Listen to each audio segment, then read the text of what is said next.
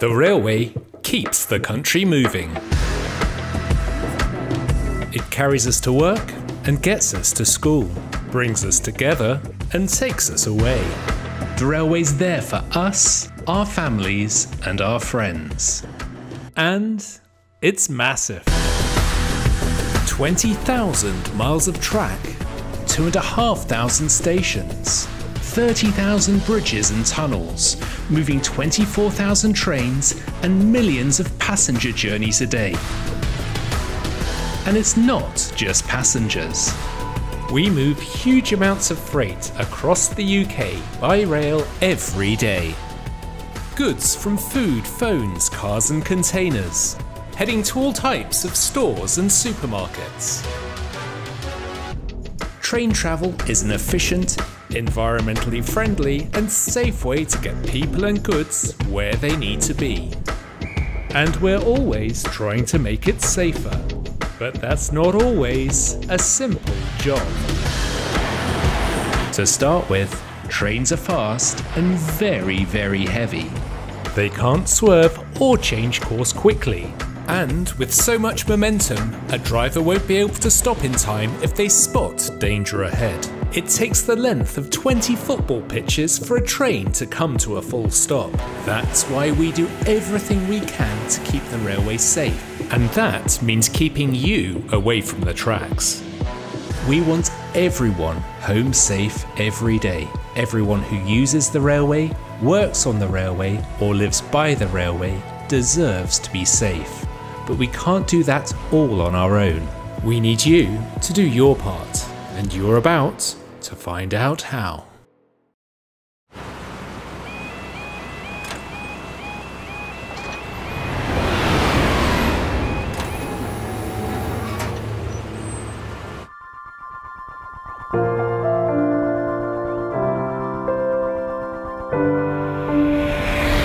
Britain's rail network is a wonder of engineering transporting millions of people every day, quickly, reliably, and safely. Network Rail uses cutting edge technology and strict safety standards to make sure that rail is one of the safest possible modes of transport.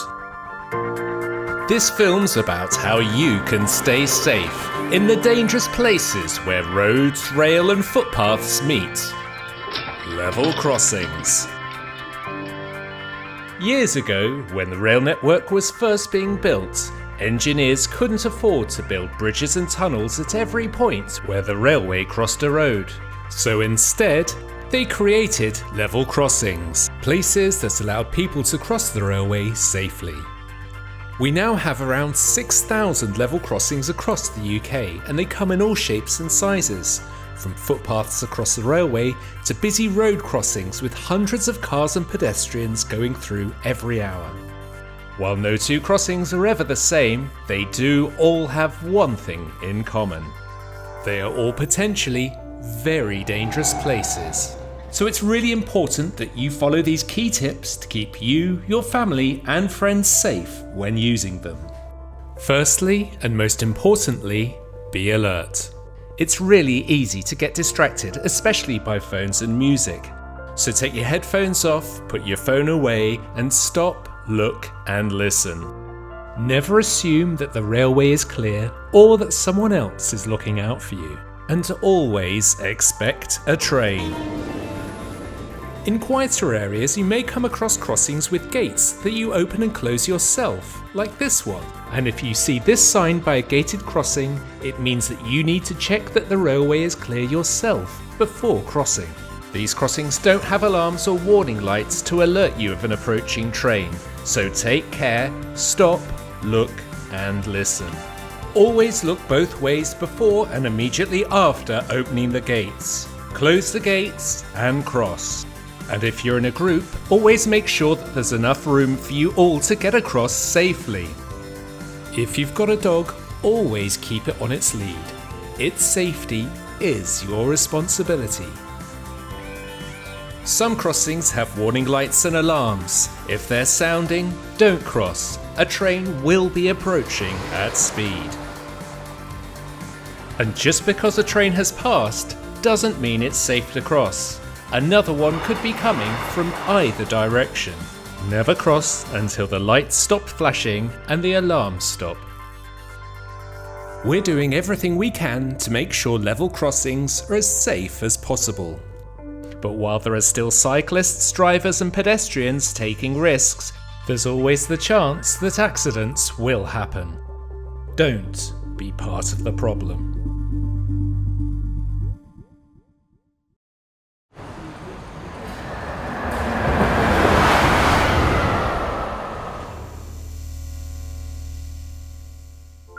Decades ago, we replaced steam trains with cleaner, more efficient diesel ones. And we're now looking to replace diesel trains as much as possible with cleaner and quieter electric trains. Railway electricity is delivered either by overhead lines, which suit high speed trains, or by something we call the third rail, an extra rail to the side of the track which is used on some slower routes. By using electricity, the railway is becoming more environmentally friendly. But there is a downside. Trains are, of course, very heavy. A passenger train can weigh 400 tonnes, the equivalent to 80 elephants. And to move something that heavy very quickly requires a lot of power. And that means a lot of electricity. Between 750 and 25,000 volts. That's 100 times more powerful than the electricity you get at home. And that much electricity makes it one of the most dangerous factors when stepping onto the railway. And it's always on, 24 hours a day, 7 days a week, even when there are no trains. Never underestimate how dangerous railway electricity is. You don't even need to touch anything to be electrocuted. At 25,000 volts, electricity can jump through the air like lightning and strike 3 meters from the overhead lines. It can also strike you through something you're holding, meaning balloons, kites, or fishing rods should never be allowed anywhere near the overhead line. The powered third rail is a danger that hides in plain sight. It appears to be an ordinary rail, but it carries 750 volts of electricity, and if you're unfortunate enough to touch one, the current has the power to hold you to the rail and cause serious harm. Please don't take risks with rail electricity. Stay off the tracks, keep away from the cables, and whatever you do, stay safe.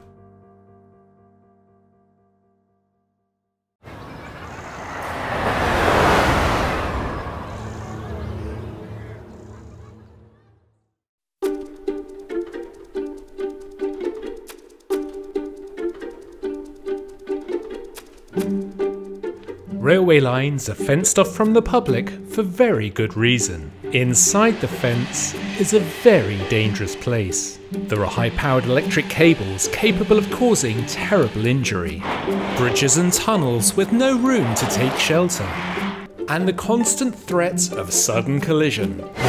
With massively heavy, fast moving trains operating day and night. It might appear that deserted railway locations like these are perfect for exploring or for taking a shortcut across railway lines.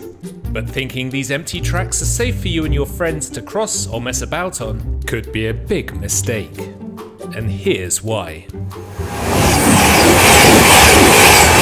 Modern trains are extremely fast and so quiet they give you no time to react and at top speed they can cover the length of a football field in less than two seconds.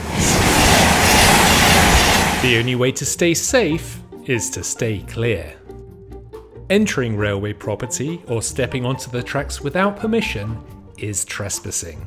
Trespassing is both illegal and very, very dangerous. By reducing delays, danger, and damage to the railway, we can make sure everyone gets home safe, secure, and on time. And that's why we have the British Transport Police. Hi, I'm Beth. I'm a police officer with the British Transport Police, and I've been doing this job for about three and a half years.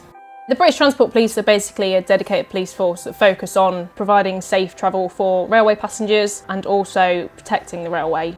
Our network of uniformed police officers, um, plainclothes police officers and over 150,000 CCTV cameras are monitoring you 24-7 when you use the railway network. We are here to look out for you, but if you do commit an offence when you're on the railway, it, it will be monitored and will be seen. We will charge, we will convict for them if it's deemed appropriate, and getting a criminal record can be detrimental to your future. Um, it can not only stop you from getting the job you want, it could restrict your travel to other countries, places like America and Australia will not let you into their country if you have a criminal record. Um, and really, that's not something you want as a consequence of simple trespass or disruption on the railway. Over the past few months, I've dealt with far too many deaths on the railway um, where a person has been killed when they've been struck by a train and they've been on the railway when they shouldn't be. The incident itself, I am okay with dealing with. I can be a police officer at the time and deal with the incident on scene.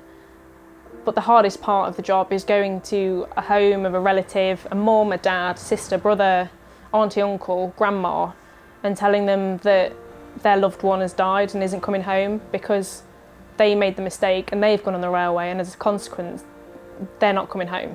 My message is don't do it. Don't go on the railway. It's it's incredibly dangerous and even though I've talked about the effects of the criminal prosecutions and the effect it has on yourself, think about other people, think about your family and your friends that want you to survive, want you to live a life.